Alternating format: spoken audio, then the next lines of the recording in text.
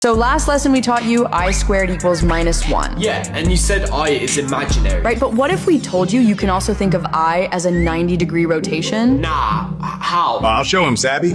Okay, dude, pick any number on this number line. Four? Okay, so 4 on a number line is this distance here. One, two, three, four. And what happens if we multiply 4 by negative 1? You get minus four? Right, which is over here, on the other side of the number line. So multiplying by minus one made it flip.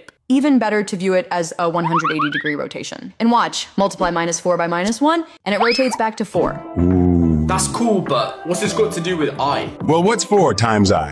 Four I? 4i, which you can imagine is up here uh, on an imaginary number line. Wait, what? So this number line's real, but this one's imaginary. Yep. And here's why this diagram slaps. So we multiplied 4 by i, and it's like it rotated 90 degrees to 4i. But if we multiply by i one more time, It rotates another 90.